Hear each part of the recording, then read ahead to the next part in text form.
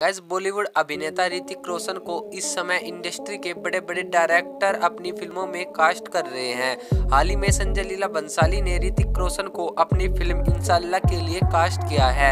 आज हम अपनी इस लिस्ट में आपको ऋतिक रोशन की अपकमिंग फ़िल्मों के बारे में बताने जा रहे हैं, जो आने वाले दिनों में सलमान, शाहरुख और आमिर खान की फ़िल्मों के रिकॉर्ड को ध्वस्त करते दिखाई देंगे। तो लिस्ट में गैस नंबर वन पर फाइटर फ़िल्म आती है। इस फ़िल्म में ऋतिक रोशन और दीपिका पादुकोण पहली बड़े पर्दे पर स्क्रीन शेयर करते दिखाई देंगे। सिद्धार्थ आनंद के निर्देशन में बनी फ़िल्म में ज़बरदस्त एक्शन सीन्स भी होंगे। लिस्ट में गज नंबर टू पर विक्रम वेदा रिमेक मूवी आती है। ताज़ा रिपोर्ट्स की माने तो ऋतिक रोशन ने तमिल सुपरहिट फ़िल्म विक्रम वेदा के हिंदी रिमेक को करने के लिए हाँ कर दी है।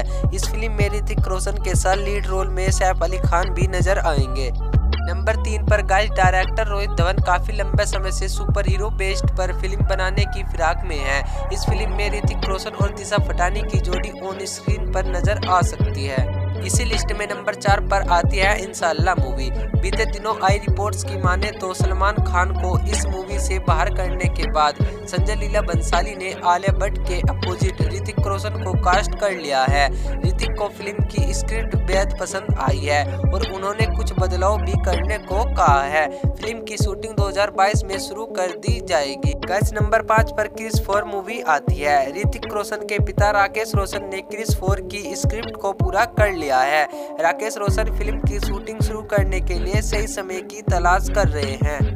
गाइज़, इस लिस्ट में नंबर सिक्स पर आती है रामायण। गाइज़, मधु मंटेना की इस भारी भरकम बजट वाली फ़िल्म रामायण में ऋतिक रोशन को कास्ट किए जाने की चर्चा काफ़ी दिनों से चल रही है। पहले बताया गया था कि फ़िल्म में ऋतिक रोशन भगवान राम के किरदार में दिखाई देंगे।